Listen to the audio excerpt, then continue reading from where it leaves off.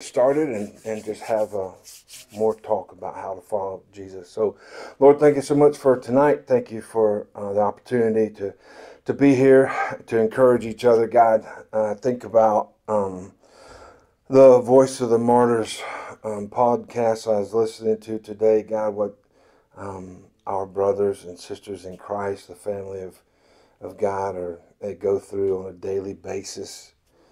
Um, I know that we have our own difficulties here, um, raising children and um, employers and just things that are going on.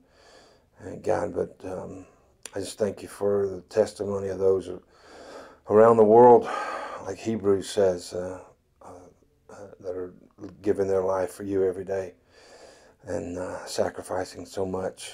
So we just thank you. Pray, God, you'd stir our hearts tonight, open our eyes, and uh, so we can see you more clearly. And we pray in Jesus' name. Amen. Amen. Um, so, so tonight we're going to be talking about um, defending the faith in the marketplace of ideas, and uh, and so it's gonna it's gonna be uh, great conversation. So this is a um, picture that was taken of me uh, in the marketplace. So this is Kenya, and and um, a few years ago we took a student group there, and and uh, the lady that was um, the photographer took the picture, and then she gave it to me, and I thought, there's a there's a lesson there. I'm gonna keep keep that. But so that's what we're talking about tonight. You know, we got all these in in our in our life as we go through the day. We've got all these options um, to choose from, and uh, and you know you just have to, and, and we make choices every day, and uh, so you have to ask. Um, like our picture last week, uh, a week ago, was um, the picture of all the, the people that were on the, the train in India, you know, and we're asking ourselves, does, does, was what I, and I don't know that people really do this. I mean, I, I don't know that I did when I was younger, uh, a teenager, but when I got older, I started thinking, I need to think about this. You know, Jesus is the only way. I better, I need to think about why I believe that. And, and that's where you come to. And so, like the picture object lesson last week, you know, was the, the all these people um, on the outside of a, this train, um, and they were all Indian people. And I'm guessing that the in, inside was full and uh, and so, but the, the question was, is that train able to bear the weight of all those people? It was designed, surely, for the passenger interior capacity. Well, I don't know about that hundred, you know, extra thousand people hanging on the outside, and that's what we do um, when, yeah that's what we do when we're when we have when we we I say choose a um, whatever worldview we're going to adopt. Um, does the worldview that I adopt is it able to bear the weight of um, the world events that we see? I mean, and you ask, like the silence of God? Does, does what I believe, is it able to give me a, re, I mean, a, a reasonable, a coherent, because these are the words that we use, right? These are the words that we use to, to make it through the day. These are the words that we use to make the world make sense, to make our suffering make sense. Is it coherent? Is it, is it plausible? Is it reasonable? Um, is it intellectually honest? And so um, when we go through the day and we listen to people and the things that they um, they say and they talk about, we're filtering the, the um, our daily experiences through the objective truth, the overwhelming uh, evidence that is ultimately compelling. Right? That's that's um, everything in a nutshell what I just said in the last 90 seconds. All that thinking is ultimately uh, compelling and and so I I choose. I make my choice, right? And so earlier in our lessons, I said we, we don't really choose like one guy who is a relativist. He chooses fishing or the ball game, and and to him, because church and fishing are, are equal in value and worth. Well, for for him, we just choose church, but we're actually we're actually compelled by the overwhelming evidence to, to the point where we um, we have an informed faith. And and now um, it, it's no longer a matter of uh, opinion or an option i'm compelled because of the the overwhelming evidence. I have now i have an informed faith. And i'm not groping into darkness hoping to stumble upon something that's good enough or helpful for the moment or something. It's it's um, actually objective, objectively true, and it it accurately reflects the the, the world that um, that we experience every day. That's your definition of truth. Truth is that which we experience on an everyday basis. And then we ask, um, does the Christian worldview, is it able to bear up under, um, you know, the silence of God? I got cancer. You know, now my wife's got cancer. Now my kid, I'm worried about my kids, and I lost my job, and um, oh my gosh, global starvation. Why does God let you know the, that that those people starve? I mean, all these questions that we come up with. Um, you know, we say that um, uh, it's more reasonable, it's more plausible that we're all wrong. Than that we're all right. Right. We can't all be right. right. And when when you have diametrically opposed conclusions. And so we say, well, is my conclusion plausible and reasonable and coherent? And the Christian faith rises to the top there. And so we're not groping around, and we're not. Um, we, we're not. Uh, we're, we're actually compelled rather than an option. Uh, Christianity is not an option anymore. It might have been when I didn't know better. I guess that's okay Right. You can't unsee what you what you've now seen. yeah. And so, um, so that's what we're. Last week we talked about truth, and and and so um, this week uh, we're going to be talking about defending the faith. I mean, two weeks ago was objective truth. Based on that, and now I'm going to read my Bible because I have objective truth as a foundation for my life as I'm going forward. And so tonight we're talking about defending the faith in the marketplace of ideas and um, why we can trust the Bible is one of those one of those things. So I was going to show you this picture of discipleship. I actually have two of them. Um,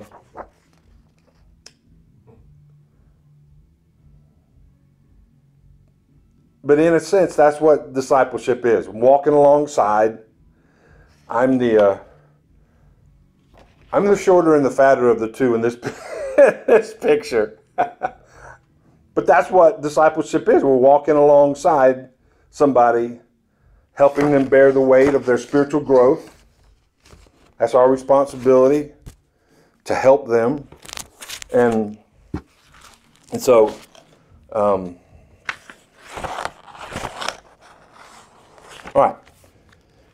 So you have your defending the faith in the marketplace of ideas, and this there's uh, I don't have a video or anything tonight. We're just going to talk through this and let you uh, ask questions and say, hey, what about this? And we're just going to walk through all this because uh, there's 18 pages worth of notes here, and we're going to try to cover it all, um, and um, and see how it goes. So um, so defending the faith. The intent of this this this material is not to give you a, load of ammunition um, just to beat people up with, right? So we we we want to equip you, and so that you can uh, um, learn to um, identify an assumption, and then uh, be able to ask ask questions.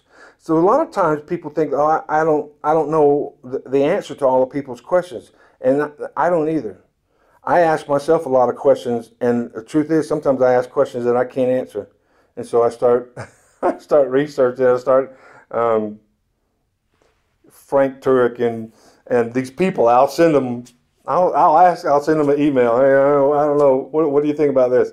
And so, so we we want to ask questions, and um, and so hopefully that first paragraph, that hopefully they're They'll be moved toward a, a, more relational, intellectually honest, compelling, plausible position that more closely reflects reality. So I haven't used that word reality um, much uh, until uh, lately, last last few months, um, and and that's because of Greg Koukl and following him. They got they've got the reality conferences that they have.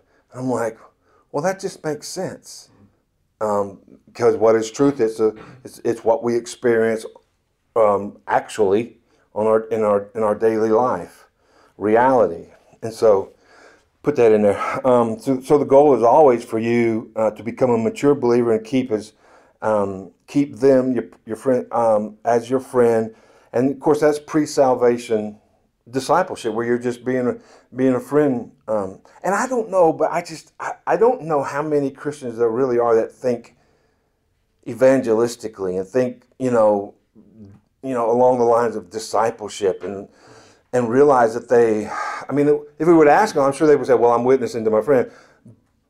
But when you clock in on time and then you do your job well and you you know you don't sit down and waste time you're that all that is your testimony and and then the conversations that you're having is is pre-salvation discipleship. And so when that person does come to Christ, they they don't stumble over your life, right? They don't stumble over you know the way you've been living at work. So last paragraph there, uh, you're going to notice in, in the format is simple. Uh, we've got the subject, and then number two, when they say um, and they make their assertion, well, then number three, well, then you can ask this question, you can say this, and then and then number four is a partial explanation. So years ago when I started teaching this at our other church in McDonough, um, the the students would um, say, "Hey, Coach uh, Coach Holloway, um, what do I what do I say when um, my when they say when my friends say this?" And uh, I did my best to answer that, but I think about the third season semester that I taught this, I said, I'm going to give them a simple 101 format. When they say this, you can say this, and here's why. So they're going to make this assertion, and you can reply like this, and here's a, here's a, a solid Christian biblical explanation for why we believe um, what we believe about this subject. So, um, cool. So, gentleness and respect. Mark 13, 22, Jesus said that there are going to be false messiahs and false prophets, and they're going to come to deceive. They're so clever and so good, and man, is that not true today? So, like a silver tongue orator, they are so good. Uh, wordsmith is what I'm trying to say. So good at linguistics that are able to deceive even uh, the elect. You interrupt me at any time, brother. But well, I just I was going to ask you. You know, there, one thing here, just while you're on that topic, yeah. is uh, I don't know if you've seen, but there's this controversy over that uh, commercial during the Super Bowl. That, yeah, he gets us. Yeah. I was kind of curious as to where you stand on that, or if you if you thought about it at all, or if you. I've thought about it. I got into because I, I, am kind of of two minds about it myself. I've, I've got kind of a pro and con view of it. But Mine's more con. Mm, mine is more con as well, but uh, I can see maybe a like you said a, a piece of it that's kind of hinting at something. Well, I you know I so I got into a debate online, which I uh, rarely do. um, but to me, the the mistake or what was missing in the conversation was so obvious, glaring, that I decided to comment. And so, um, um, the pro side of me uh, says, I would like to have every one of those pictures hanging in my office. Right. That's the goal is to uh, is to serve humanity. Yeah. And to love your love your neighbor Yeah. as yourself. So to And how many people, and this is their argument, how many people sitting on our pews don't in our churches don't do that? They judge rather than serve. Greatest among you is going to be a servant of all. And so I get their position. Um, and so I would like to have every one of those pictures, and if I had them, I'd hang them up in my in my office. Um, when I saw the one of the priest uh, washing the feet of the gay person, um, I was thankful that I have gotten to the point, uh, thought about it long enough and hard enough, and then acted on it. That um, when Gene and I were in Puerto Rico, there was a man in our on our hallway in our in our uh, hotel, our apartment, um, and he was gay, but I invited him, and and he said, "Well, you know," I said, "Listen, man." Anyway, he came, and, and I was really glad that he did.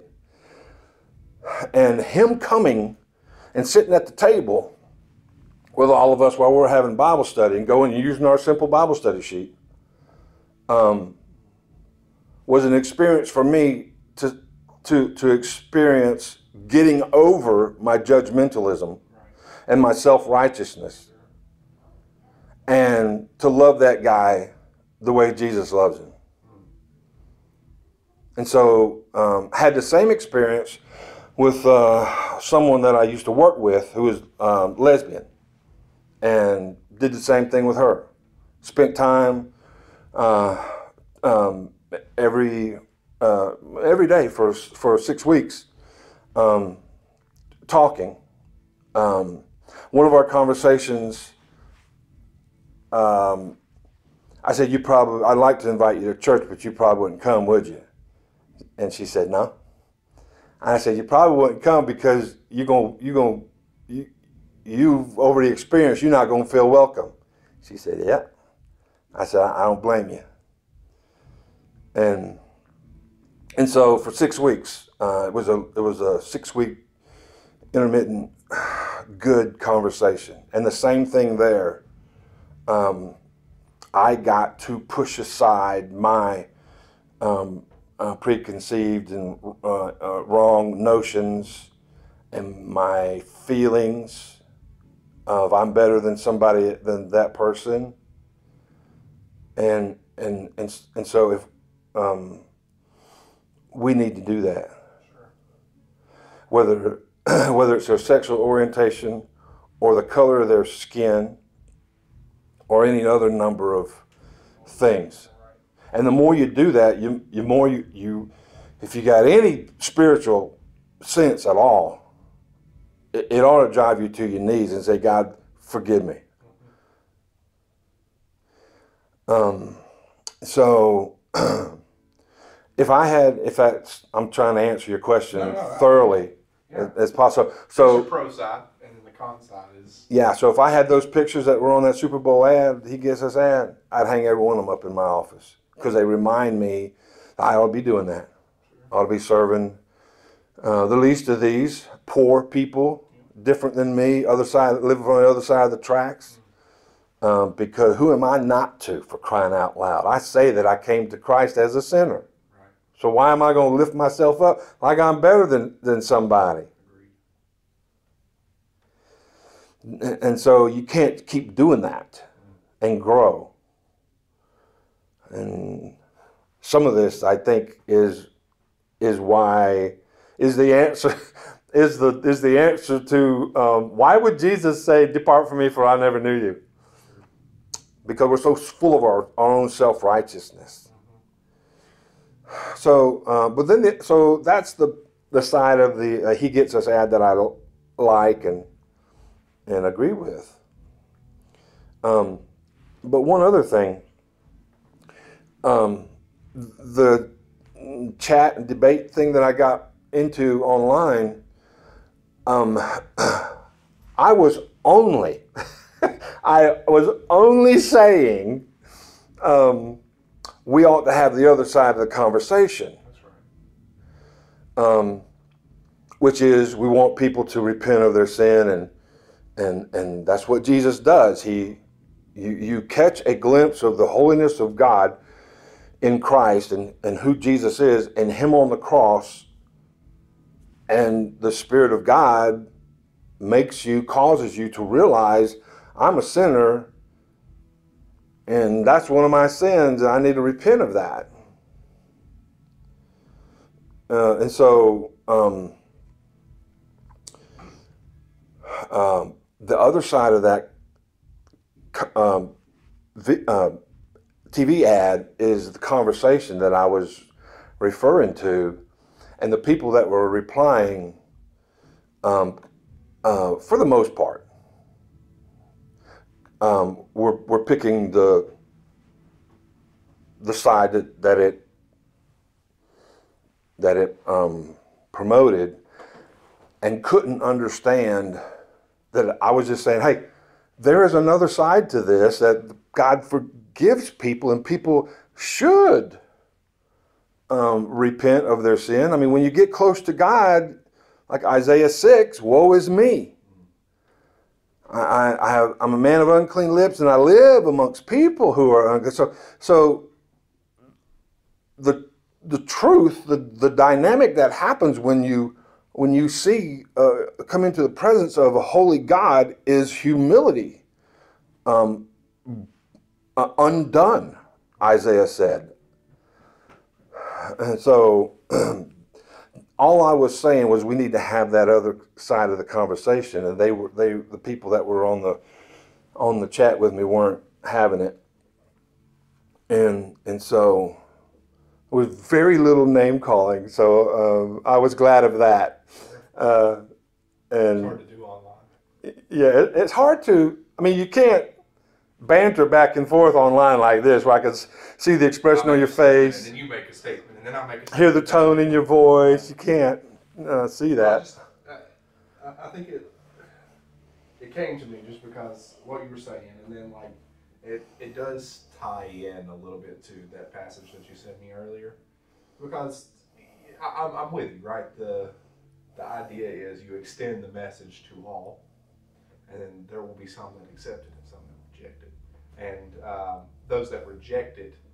Uh, even Jesus, he just he let them go, right? Um, and in that passage about the you know, there's kind of two parts in that John 6. There's the feeding of the multitudes, and then there's this whole passage where he goes to Capernaum, and they track him down, and uh, they they he starts talking about the bread of life, and it's you know it's a little bit uh, allegorical or metaphorical, right? He's he's talking, you're going to eat my flesh, and they're like, what do you mean, you know?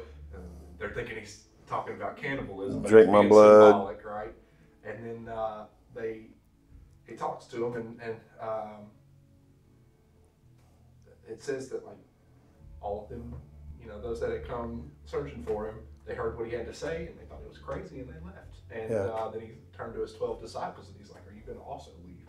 Right. And uh, Peter or Andrew says like, "No, I'm not. I'm. I'm where where Where are we gonna go? Exactly. So, and that's that's the the idea. Is like you you give the message. You wash all the feet, right? You wash the feet, but like you you give the message to everyone who will hear it, and then those who are like Jesus said, called by God to to turn toward Him will come to you, and uh, the others they're going to reject it, or or you know maybe maybe it's not their time yet. Maybe God's got a separate season for them to come to it. You know? But uh, and and so we wouldn't you agree that we want the message to be clear, absolutely, the message And has to be clear. we don't want it to be one-sided. no, If at all possible, we want it to be clear, as clear as possible. and and the, and that's the the, the argument with yeah, the and the two sides of God are, are mercy and justice, right? There's there's the mercy for Yeah. the sinner, and then there's the, the justice for the unrepentant, right? And that's Yeah. the, that, that that's that, that's the portion that's missing from the ad. You got all mercy, and and no justice. no judgment and no justice. yeah, and uh, that's that's a problem. Anyway, but I'm. Well, have you seen no? Have you seen the the one that has been remade with the same song? no, I have uh-uh. Yeah, uh, like in the last couple of days. yeah. Just in the last, uh, I guess I saw it this morning, or late last night. Maybe it was the first time. Late last night I saw it because I showed it to Gina. Um, and so it's the same song, and uh, same format as far as the graphics. And on the one side it says uh, former jihadist. Got a picture of a guy with his gun, and then over here on the other side, got a picture of him smiling, and um, and he's not. A, he's former. You know, like like I think it's Ephesians that says, "So were such some of you, Right. such were some of you. You used to be, but you're not anymore because God is has saved you. Once I was enemy of God, and now I'm son of God. Yeah, friend of God." And, and so you're growing, and so one is, uh, I think, a porn star, uh, which, like, over there opposing uh, ideas. But anyway, a porn person, and then uh, now this girl's married, a little baby, former porn, former jihadist, former thief, you know, former, and, and it's like five or six or nine, maybe nine, I don't know, seven um, pictures, former this, former that. And, and, and I'm like, that's, there's nothing wrong with that. I mean, for anybody who, who, um, kind of what you said earlier, there's a reason Jesus said those who are of the truth are going to come to the light. That's right.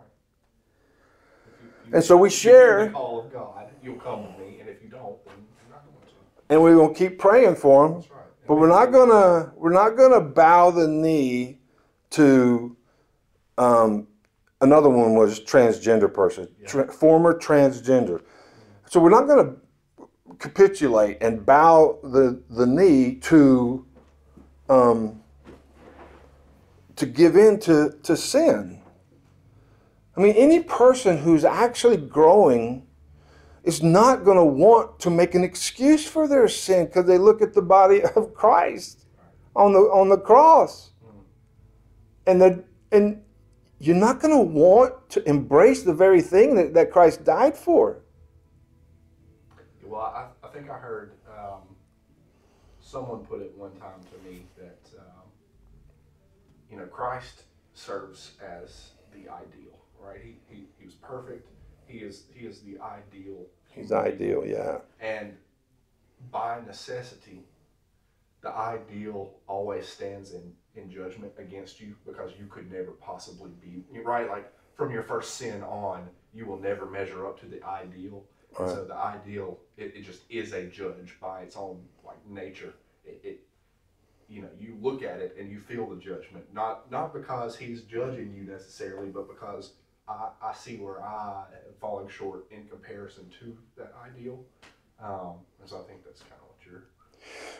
Yeah, I mean, and and and so that's like in Revelation um, when um, it's in four, five, and six. I think it is. It says that the angels flew around the throne of God, and with six wings they flew. With with uh, two they flew. With two they covered their feet, and with two they covered their eyes.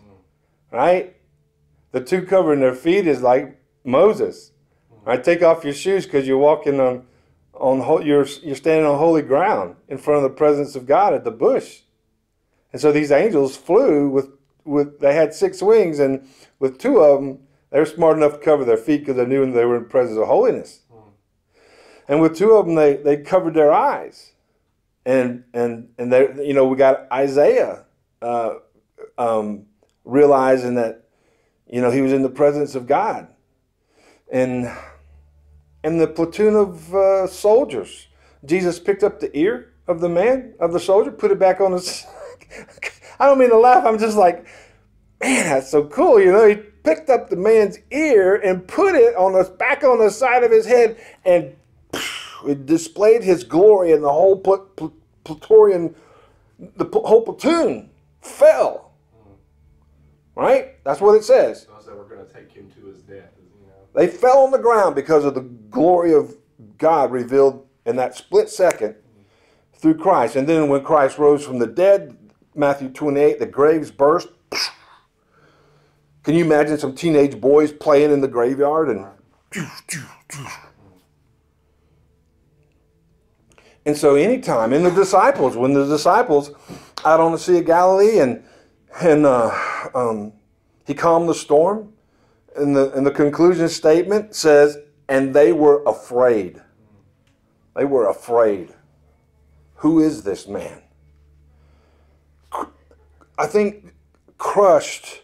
I, this is a good place for us to find ourselves. This is a good place f- for the people who are promoting that ad to find themselves crushed under the, the weight of the glory of God. Not just as, you know, he loves us, his, but his majesty.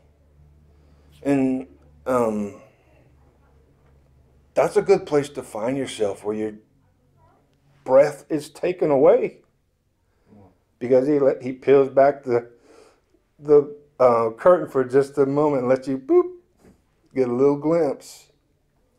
Um, yeah, one hundred percent. It's uh, it's a good thing to be uh, terrified by God. You know? Yeah.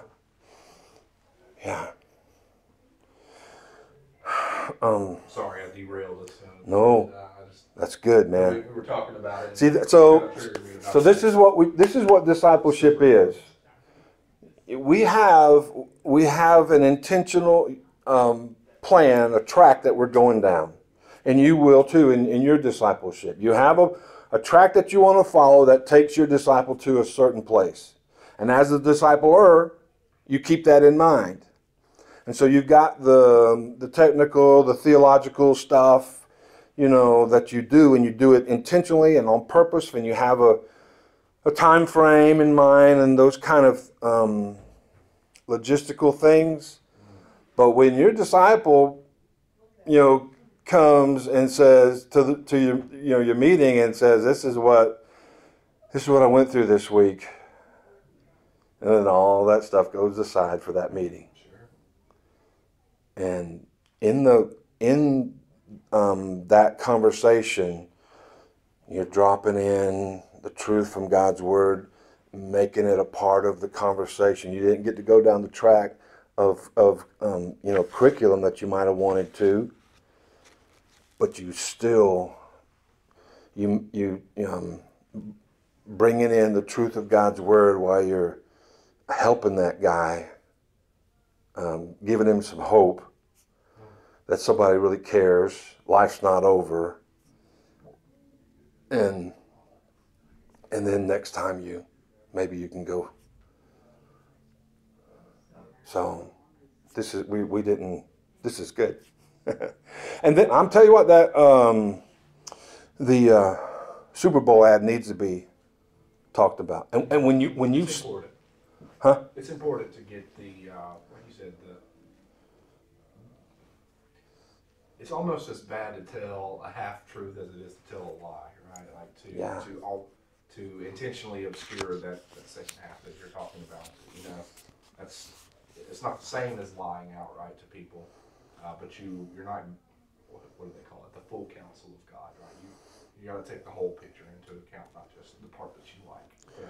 Right not the love your neighbor neighbor part is you know love your neighbor love love god right there, there's two parts of that and the Right. first part is love love god which is the surrender part Yeah. and, and then through that you can love your neighbor because because you realize what you are you know um, and it becomes more and more evident um, now at 63 years old.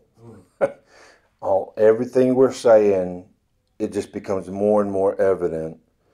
Um, the older I get, um, the more you see clearly. Uh, it, I think if you keep humility and objectivity um, of course, God's word. You know, if you keep those things as a filter, um, I think that you're able to see more clearly. Um, that's that's what's wrong with the, these. I, I say arrogant, but they are. I mean, I, these arrogant um, rock star preachers. Uh, um, they're smart. They got intellect. Um, and it even looks like they have the power of God on them because they got 10,000 people in the church. Right. Charismatic. Charismatic personality. Able even to deceive even the elect. That's right. So, so that's good. Um, so when we hear that other that new ad that I told you about that they've come up with I'll try to in the last uh, um, 24 hours, you, you you go you look at it and you go, "Uh, of course, course. of course, a former sex addict, former porno, former jihadist, former thief. That's what Jesus does. Um, and you wonder why, like in my case, with this thread I was on, why don't they even want to consider having a conversation about the other side of the coin? They don't even want to consider having a conversation about this thing that has become so obvious with this new ad. They, confuse conviction and condemnation. You know, uh, that that if I if I say this is not the right way, you know that somehow you've condemned. Now you're now you're judging me. Now you've condemned me. But it's right. I don't know. It's it's a very tough uh, thing to get across to people sometimes. That uh, that saying tough things out of love may sound harsh at first, but it, it is. You know, I wouldn't be a good father if I let my kid, you know, cuss me out. if I Or carry around a boiling pot of water. Right. That correction is not condemnation. Right. It, it's not. I hate you. It's not. Uh, it's not coming from a place of. of let, let me say it is coming from a place of love. It's not coming from a place of hatred. Right. When I say to you that whatever behavior is is uh, not in alignment with God's word, that that's not. It's not because I hate you or think that you're bad. Right. I think that I'm bad. uh, They have weaponized mercy. That's right. Well, well I, you know, and this is a, this is personal to me because um, my own brother is, uh, you know, there are some people that believe that once you're saved, you're always saved. I don't think I'm one of those people. I don't believe that. I think you can, can lose your salvation. I think you can um, come to God and then run away from Him. You know, and I think if you run hard enough for long enough, that you know you can. It's proof. Right. And so my my brother's in that situation. He um, there was a time where he was attending church regularly, and we we're only thirteen months separated. So uh, he he believe he knows what I know. You know, we went to the same church growing up. My my folks raised us the exact same way. Um, but lately, he's he, he kind of mocks me for being a believer. Um, It's easy well, and he from a worldly perspective. Right, and he talks to me about you know when I when I approached him with it, um, you know, he, he just kind of like, well, you know, you think you're so much better than me. You think, and, and I, I told him I was like, that's actually not what I think at all. Like because I know my own heart, I, I actually know that I'm worse than you. you know, and, and or maybe we're the same level of, of evil, right? Like every desire of our hearts are, are wicked, and. Uh, it it is only by, you know, I, I don't think I'm good, you know, and you were projecting this onto me. like, I've never said that to you. I've never claimed that I was better than you. Like, this is all a, a fiction in your head because you're feeling that, like, you know, the condemnation the, or the conviction. Guilt or Exactly. something, yeah. And shame. And so now you're projecting that back on me, saying that I, I think I'm better than you, but I think what you're saying is like you think that I'm better than you, and that's not what you know. That's not really where we're. Right. Right. So that it's it is kind of um, this is kind of personal. Yeah. Yeah, it's um, any any um, any person who sees that second ad, um, I, I, and I think has has a um, a desire to to know the truth, to to know God, is going to pause and they're going to uh, they're going to say, ah, there it is. That makes sense to me. This former thing, this former that, former. It makes it makes sense to uh, to one who is either saved or uh, seeking um, as best they know how and can objective truth. Um, so, good stuff. So, um, so this gentleness and respect, um, there on page page two. Um, you're uh, in the middle, First Peter three fifteen. Let's see. Um, Oh, 2 Timothy 3.16, but you must remain faithful to the things you have been taught. Right? And so we're choosing to choose Jesus again. This is the conversation. This is part of the conversation I have more than any other conversation. Because we have laid the foundation of objective truth for the Christian life, for the Christian worldview, now I can read my Bible and I have compelling reasons to believe it, which are in this today's lesson, and, and I have compelling reason to believe the Christian worldview is objectively true because of that. These are the things that, that guide our, our thinking. I'm going to choose again. Fall down six times, get up. So I'm going to choose to choose Jesus again because of the overwhelming evidence and the and the, overwhelming hope that comes with uh, the Christian worldview. And so I'm choosing to choose to choose Jesus because I know just enough. I got I got a few questions, but I know just enough to keep choosing Him, and I'm not groping in in the darkness. So uh, the Scripture is inspired by God. It, it, it is inspirational, but it's not inspirational like like a, poem is inspirational or a sunshine is inspirational. You know, it can encourage you for a little bit. It's inspired by God. God breathed. These are the these and these other things we're going to talk about are the the things that are a, a theological uh, foundation, bedrock that we don't move on.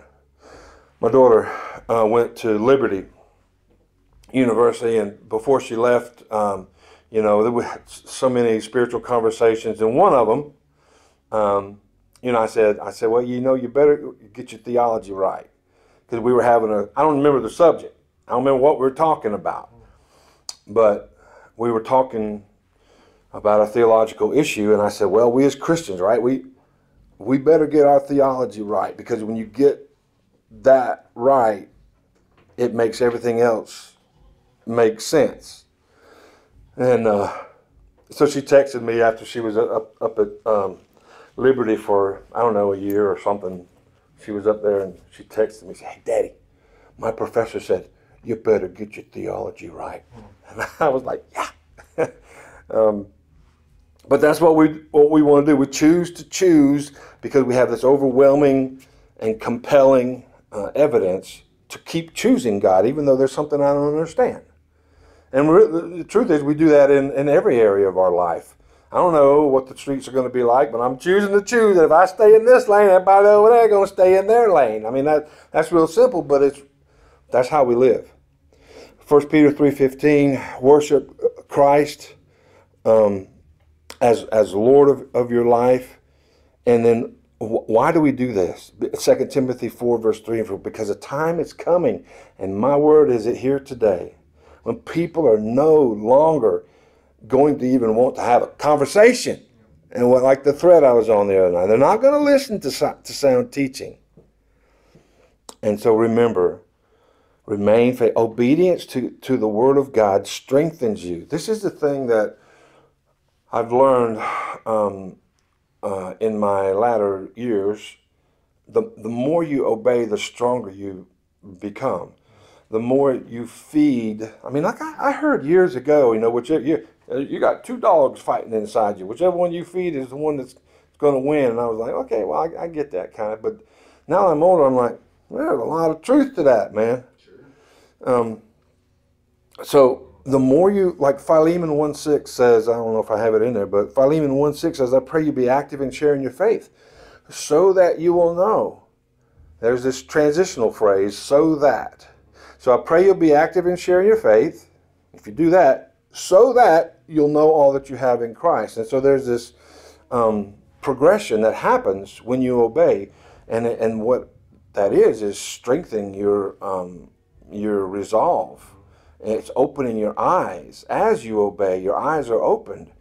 This is a, this is part of the debriefing that I give the guys on the wrestling team after they've led a FCA devotion. Is Galatians 2:20 I am crucified with Christ nevertheless I live yet not I but Christ is living his life through me he's loving people through me look what God has done in you so uh, remember, uh, remain faithful. Psalm 119 and Romans 8. Obedience to the Word of God strengthens you, and the more you obey, the more spiritually strong uh, you become. Okay? And then over on the other page, page 3, um, clothe yourself with humility. Man, the, the, Holy Spirit uses uses that, uses humility. Um, and they're going to embellish in that next paragraph. They're going to embellish the scriptures, take it out of context, and we, we want to we want to be good stewards of God's word and not do that. We want to purposefully not do that. And so our goal there in the middle of the page is to be is to be a mature, responsible person who is who is um, first following Jesus and defending the faith. And then the bold type there, you're and remember always remember you're answering a person, not a, not a question. And so to do that, here are a few questions that will put you in the driver's seat. This is Greg Koukl stuff. Driver's seat of your conversation to move you forward towards um, personal belief. So you can ask, how do you how do you know that? Um, or how do you how do you come to, to find that out? What do you mean by that? Can can you explain uh, that a little further for me? Uh, why, what do you mean by God? What do you mean by your truth? What do you mean by a good person? What are your What are your sources, and how how do you know that they're uh, trustworthy? Um, I don't know if this is in here, but also how close are they in relationship in, in, in, time to the actual events? Because that's a question we ask about the New Testament, uh, the Gospels, and, and, the rest of the New Testament. What are their sources, and how close uh, were they written to the actual events? And we're going to talk about that more. Um, and so this lesson, this um, lesson tonight, is really about learning how to uh, ask questions. Um, it, when you ask questions, it makes you think about what you believe, um, but it helps you um, uh, move along in the conversation, and and you don't have to uh, you don't have to feel compelled to answer all their questions. Let's finish page four. And uh, what time do the children get out? Uh, like 10 minutes. Okay, so, so we probably got five or 10 more minutes? Yeah. Okay, let's see what we can do. Um, so remember, um, th- this is this is a great relief right here in the middle. The burden of proof is on them, right? So when people make an assertion, uh, like there's no such thing as ultimate truth, um, the burden of proof is on them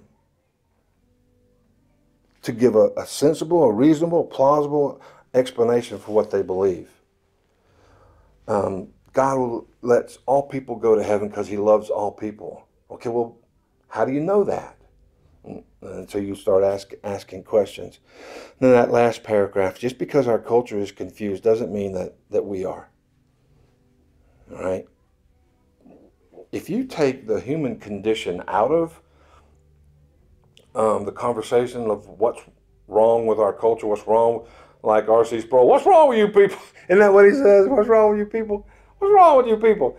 Uh, if you take the human condition out of the conversation, like rape, theft, you know, Ponzi schemes, it, all it, all kinds of injustice. If you take the human condition of the, the, depravity of men, sinfulness of men, if you take that out, you're going to be squirming around to find an answer that's not going to be sufficient to answer, to fully answer the question of why rape, why theft, why all this stuff. But when you insert and include the depravity of man as part of that conversation, I mean, I hate to say it's easy, but it's easy to answer the question why rape? Well, men are sinful. Why theft? Men are sinful.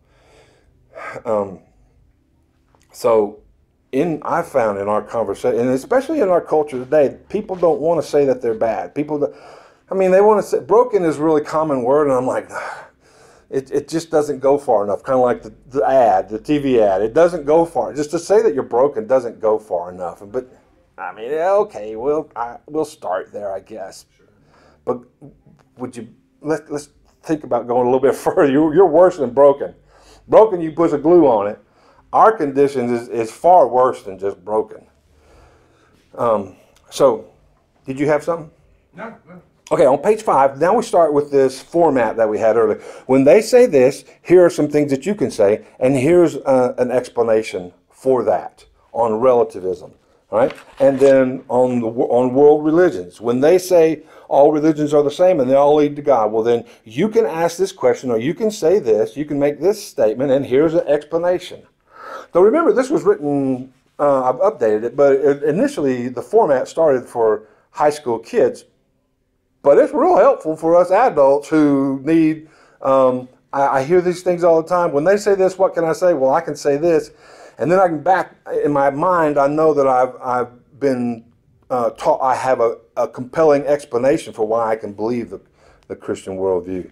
So um, I brought this article um, about uh, Jesus because the next section is God and Jesus, and that's a really good little article to read.